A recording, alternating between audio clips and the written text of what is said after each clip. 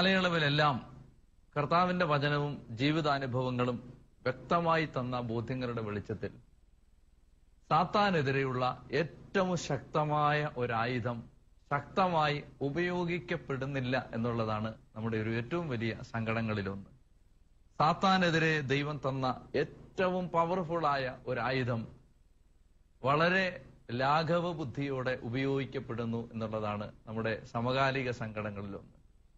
എന്താണ് ആയുധം എന്ന് എല്ലാവർക്കും വ്യക്തമായിട്ടറിയാം. അത് ദിവ്യകാരുണ്യമാണ് പരിശുദ്ധ കുർബാനയാണ്. ശുശ്രൂഷ ജീവിതത്തിൽ വളരെയേറെ ബോധ്യം തന്നിട്ടുള്ള അനുഭവങ്ങളിലൊന്ന് പിശാചിന് ഏറ്റവും കൂടുതൽ ഭയം ദിവ്യകാരുണ്യത്തെയാണ് വിശുദ്ധ കുർബാനയാണ് എന്നുള്ളതാണ്. വിശുദ്ധ കുർബാനയിലുള്ള വിശ്വാസവും ബോധ്യവും ആഴപ്പെടുന്നതിനനുസരിച്ച് വ്യക്തികളിലും കുടുംബങ്ങളിലുമുള്ള സാത്താന്റെ ആധിപത്യങ്ങൾ തകരും എന്നുള്ളതിന് ഉദാഹരണങ്ങൾ അനുഭവങ്ങൾ ബോധ്യങ്ങൾ നിരവധിയാണ്.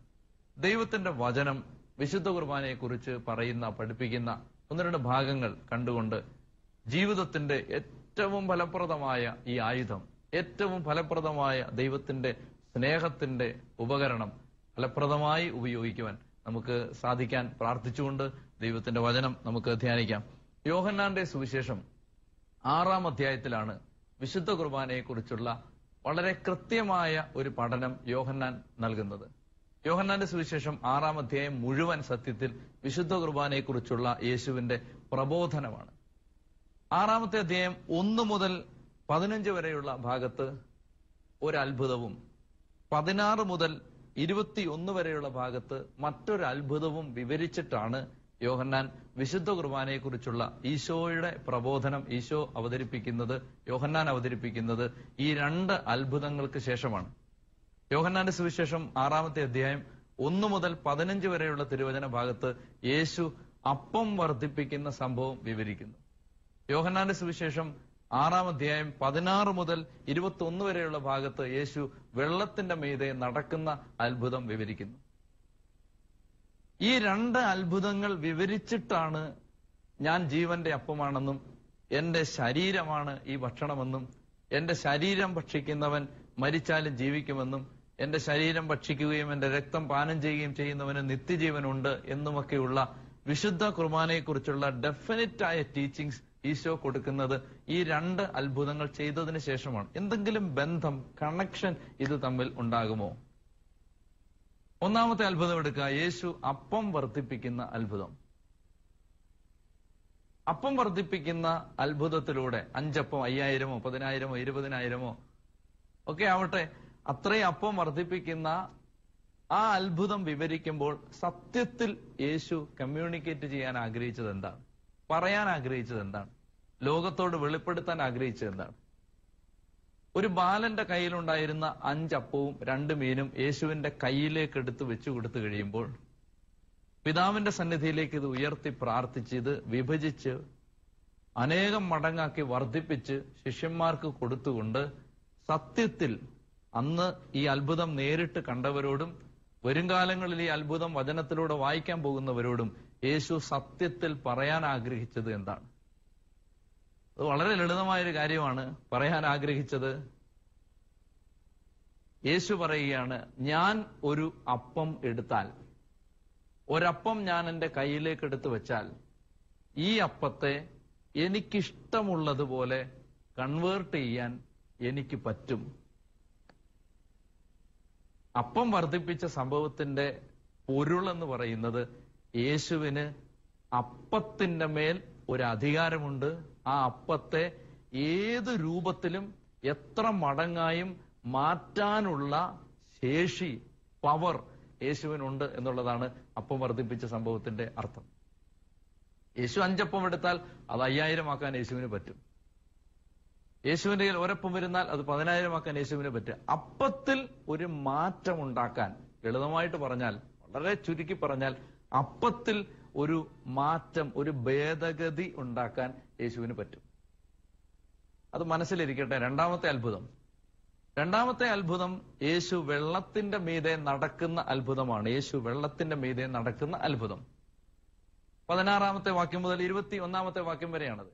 യേശു വെള്ളത്തിന്റെ മീതെ നടന്ന അത്ഭുതം കാണിച്ചിട്ട് ആ അത്ഭുതം വിവരിച്ചിട്ട് സത്യത്തിൽ യേശു എന്താ പറയാൻ ആഗ്രഹിച്ചത്?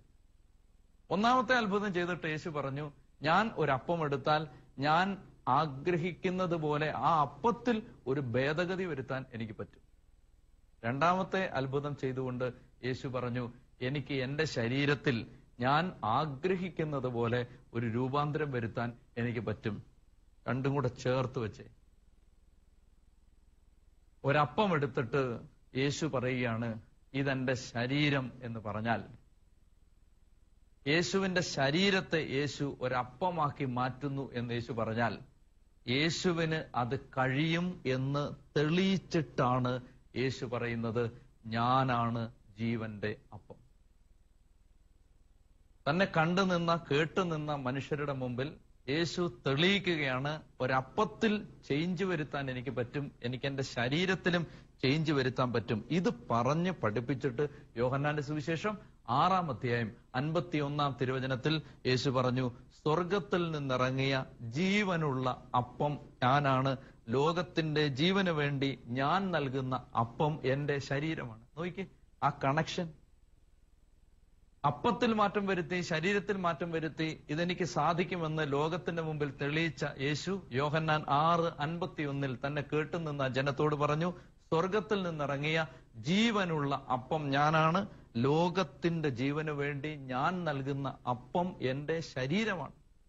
വീണ്ടും യോഹന്നാന്റെ സുവിശേഷം ആറാം അധ്യായം അൻപത്തി മൂന്നാമത്തെ വാക്യത്തിൽ പറയുന്നു നിങ്ങൾ മനുഷ്യപുത്രന്റെ ശരീരം ഭക്ഷിക്കുകയും രക്തം പാനം ചെയ്യുകയും ചെയ്യുന്നില്ലെങ്കിൽ നിങ്ങൾക്ക് ജീവൻ ഉണ്ടായിരിക്കുകയില്ല.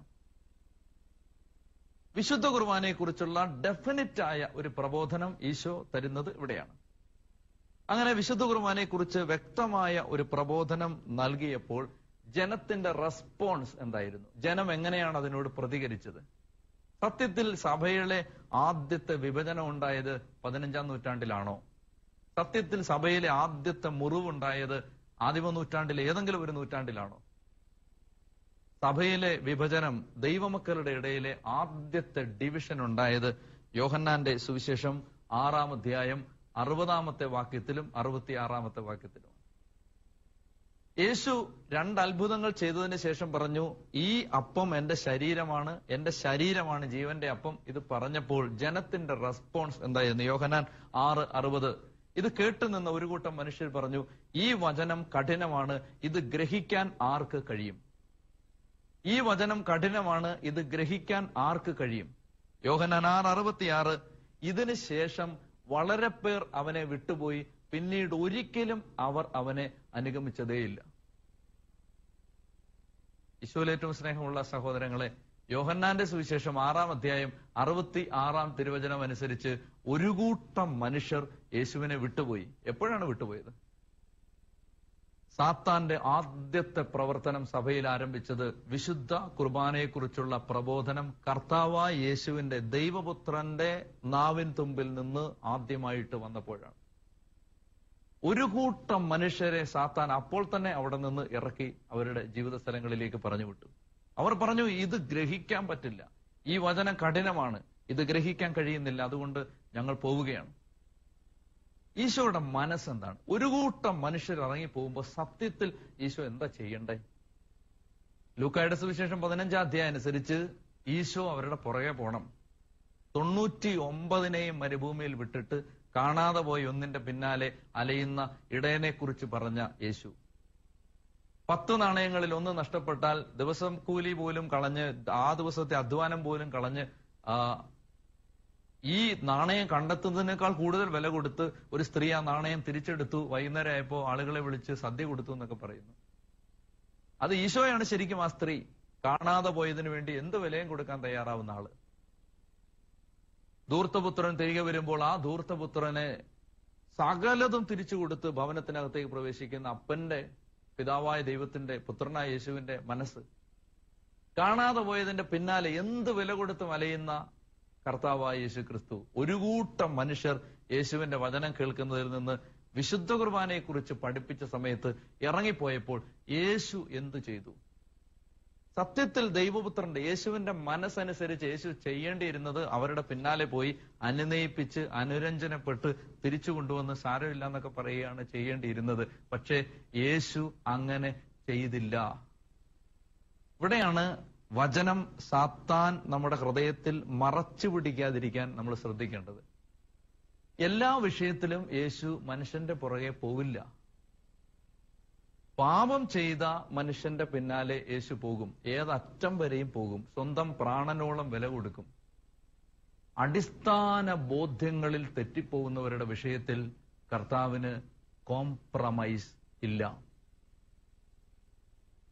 സ്നേഹമുള്ള സഹോദരങ്ങളെ ഒരു കൂട്ടം മനുഷ്യർ ഇറങ്ങിപ്പോകുന്നത് കണ്ട് നിരാശയോടെ നിന്ന ശിഷ്യന്മാരോട് പന്ത്രണ്ട് പേരോടായി ഈശോ ചോദിച്ചു നിങ്ങളും പോകാൻ ആഗ്രഹിക്കുന്നുവോ? പോകുന്നെങ്കിൽ പൊക്കോളുക. നിങ്ങൾക്കും വേണമെങ്കിൽ ഈ കൂട്ടം വിടാം. നിങ്ങളും പോകാൻ ആഗ്രഹിക്കുന്നുവോ? എന്താ ഇതിന്റെ പൊരുൾ? കർത്താവ് പറയുകയാണ് അടിസ്ഥാന പ്രബോധനമായ ഈ വിഷയത്തിൽ എന്റെ ശരീരം എന്റെ രക്തം അത് ഭക്ഷിക്കണം പാനം ചെയ്യണം നിത്യജീവന്റെ അച്ചാരമാണത് ഇതെന്റെ ശരീരമാണ് ഈ അപ്പം എന്റെ ശരീരമാണ് എന്നുള്ള ഈ ഫണ്ടമെന്റൽ ടീച്ചിങ്ങിൽ കർത്താവ് വെള്ളം ചേർക്കാൻ തയ്യാറല്ല കോംപ്രമൈസിന് തയ്യാറല്ല. കർത്താവ് യേശു ക്രിസ്തു ഈ വിഷയത്തിൽ ആരോടും അനുരഞ്ജനത്തിന് തയ്യാറല്ല. ആരുടെയും പുറകെ പോകാൻ തയ്യാറല്ല. നിങ്ങളും പോകാൻ ആഗ്രഹിക്കുന്നുവോ? പന്ത്രണ്ട് അപ്പസ്തോലന്മാരുടെ മിഴികളിൽ നോക്കി ശക്തമായി രൂക്ഷമായ ഭാഷയിൽ യേശു പറഞ്ഞു വേണമെങ്കിൽ നിങ്ങൾക്കും പോകാം. കാരണം ഈ വിഷയം മനസ്സിലാവാത്തവർ വിശ്വാസത്തിന്റെ രക്ഷയുടെ മാനവരാശിയുടെ വിമോചനത്തിന്റെ ഫണ്ടമെന്റൽ ടീച്ചിങ് യേശുവിന്റെ ശരീരവും രക്തവുമാണ് വിമോചനമായി മാറിയത് എന്റെ രക്ഷയായി മാറിയത്. അത് ഞാൻ സ്വീകരിക്കണമെന്നുള്ള അടിസ്ഥാന പ്രബോധനം മനസ്സിലാവാത്ത ഒരു വ്യക്തിക്ക് യേശുവിന്റെ സൗഹൃദ വലയത്തിൽ ഇടമില്ല. നിങ്ങളും പോകാൻ ആഗ്രഹിക്കുന്നു. ഒരു കൂട്ടം മനുഷ്യർ ഇറങ്ങിപ്പോകുമ്പോൾ അവരുടെ പിന്നാലെ പോകാതെ ഒരിക്കലും പിന്നീട് തന്റെ കൂടെ വരില്ല എന്നറിഞ്ഞുകൊണ്ട് തന്നെ സഭയിലെ ആദ്യത്തെ മുറിവ് സഭാഗാത്രത്തിന്റെ ശരീരത്തിനുണ്ടാവുമ്പോൾ അത് നിസ്സംഗതയോടെ ഇൻഡിഫറൻസോടെ നോക്കി നിന്ന യേശു. അതിന്റെ കാരണം ഈ വിഷയം ഗ്രഹിക്കാത്തവർക്ക് യേശുവിനെ ഗ്രഹിക്കാൻ കഴിയില്ല. വിശുദ്ധ കുർബാന മനസ്സിലാകാത്തവർക്ക് യേശുവിനെ മനസ്സിലാവില്ല. വിശുദ്ധ കുർബാനയെ സ്നേഹിക്കാത്തവർക്ക് യേശുവിനെ സ്നേഹിക്കാൻ കഴിയില്ല. എന്നെ കേൾക്കുന്ന പ്രിയപ്പെട്ട സഹോദരങ്ങളെ even Jesus is not ready to compromise in this radical issue regarding faith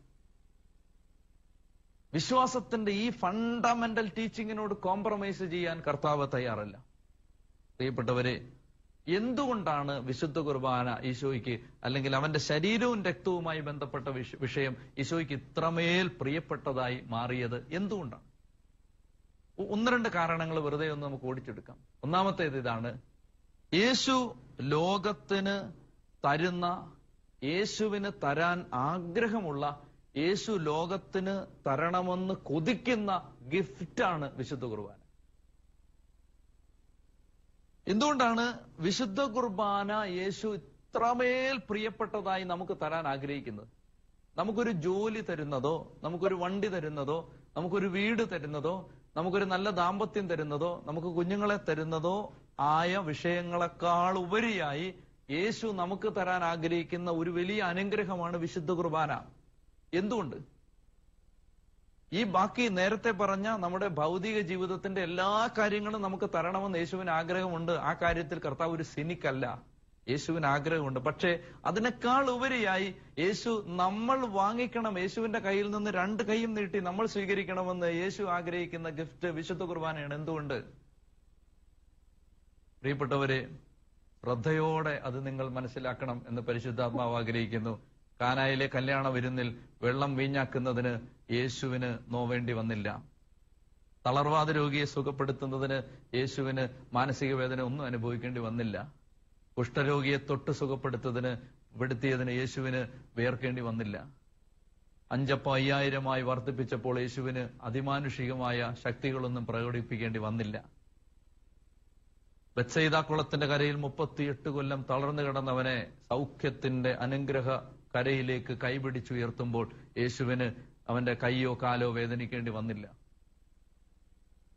എന്നാൽ കാൽവരി കുരിശിൽ സ്വന്തം ശരീരവും രക്തവും കീറി മുറിച്ച് ദുഃഖവെള്ളിയാഴ്ച ഒരു നട്ടുച്ചയ്ക്ക് ഗോകുൽത്തായുടെ നെറുകയിൽ ഉയർത്തപ്പെട്ട കുരിശിൽ മാനവരാശിയുടെ മോചനത്തിനു വേണ്ടി ഉച്ചി മുതൽ ഉള്ളങ്കാൽ വരെ തകർക്കപ്പെട്ട് കുരിശിൽ മരിച്ച് അതിന്റെ തലേരാത്രിയിൽ ആ മരണത്തിന്റെ അച്ചാരമായി ഓർമ്മയ്ക്ക് വേണ്ടി തയ്യാറാക്കിയ അവന്റെ ശരീരവും രക്തവും നമുക്ക് തരുന്നതിന് യേശു ഒരുപാട് കരയേണ്ടി വന്നു. നാവിൻ തുമ്പിലേക്ക് ഉദാസീനമായും അലസതയോടെയും അവഗണനയോടെയും നാം സ്വീകരിക്കുന്ന ഈ കാഴ്ചയപ്പം ഈ ദിവ്യകാരുണ്യം ഈ തിരുവോസ്തി നമ്മുടെ നാവിൻ തുമ്പിലേക്ക് വെക്ക് വെച്ചു തരുന്നതിന് വേണ്ടി ഈശോ ഒത്തിരി തുപ്പൽ കൊണ്ടതാണ്.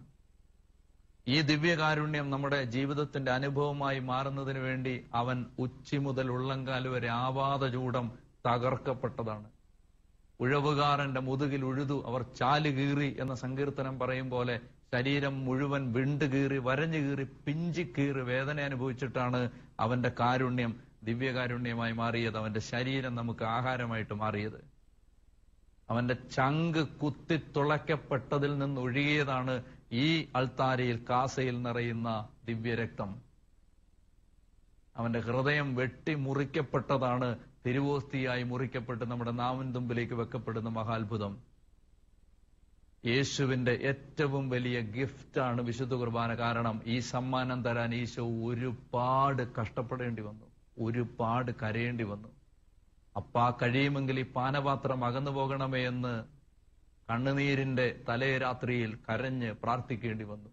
കാൽമുട്ടുകൾ കുത്തി നിലത്ത് വീഴേണ്ടി വന്നു. തന്നെക്കാൾ ഭാരമുള്ള കുരിശ് ചുമക്കേണ്ടി വന്നു. പീലാത്തോസിന്റെ അരമനപ്രത്തോറിയത്തിൽ കെട്ടിയിടപ്പെട്ട് ചാട്ടവാർ അടിയേൽക്കേണ്ടി വന്നു. കാരിലും പാണി കര ചരണങ്ങളിൽ തറയ്ക്കേണ്ടി വന്നു. ശരീരം മുഴുവൻ മുറിവേൽപ്പിക്കേണ്ടി വന്നു. പെറ്റ തള്ളയുടെ മുമ്പിൽ നഗ്നനായി കിടക്കേണ്ടി വന്നു. കൈകൊണ്ട് പോലും നാണം മറയ്ക്കാൻ കഴിയാതെ കുരിശിന്റെ നെറുകയിൽ മൂന്ന് മണിക്കൂർ വേദനിച്ച് കിടക്കേണ്ടി വന്നു. ദിവ്യകാരുണ്യം നാവിൻ തുമ്പിലേക്ക് എത്താൻ നമ്മുടെ നാവിൻ തുമ്പിലേക്ക് എത്താൻ കർത്താവായ യേശു ഒത്തിരി ഒത്തിരി ഒത്തിരി ഒത്തിരി സഹിച്ചിട്ടുണ്ട്. അതുകൊണ്ട് വിശുദ്ധ കുർബാനയോടുള്ള അവഗണന യേശുവിന് നല്ലതുപോലെ നോവും. ഞായറാഴ്ച ബലി നടക്കുമ്പോൾ നീ ദേവാലയത്തിന് വെളിയിൽ നിന്നാൽ യേശുവിനെ അത് ഒരുപാട് വേദനിപ്പിക്കും. ഞായറാഴ്ച ബലി നടക്കുമ്പോൾ നീ നിന്റെ വീട്ടിൽ കിടന്നുറങ്ങിയാൽ യേശുവിനെ അത് ഒരുപാട് വേദനിപ്പിക്കും. ഞായറാഴ്ച ബലി നടക്കുമ്പോൾ നീ നിന്റെ ജോലി സ്ഥലത്തേക്ക് പായുമ്പോൾ യേശുവിനെ അത് ഒരുപാട് വേദനിപ്പിക്കും. ഒറ്റ കുഞ്ഞു കാര്യം കൂടെ ശ്രദ്ധിച്ചു.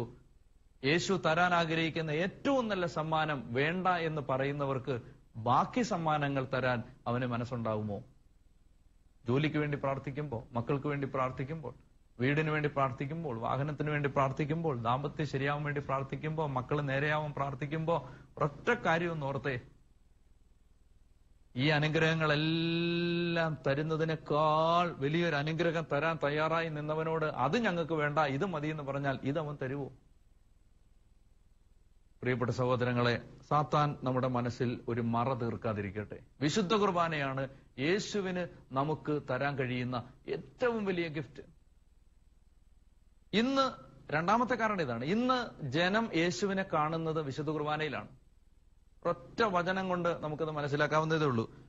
എമാവുസിലേക്ക് പോയ ശിഷ്യന്മാരുടെ സംഭവത്തിൽ ലൂക്ക ഇരുപത്തിനാല് പതിമൂന്ന് മുതൽ മുപ്പത്തി അഞ്ച് വരെയുള്ള തിരുവചന ഭാഗത്ത് അവർ വീടിനകത്തേക്ക് കയറിയപ്പോൾ യേശു അപ്പം എടുത്ത് മുറിച്ചു.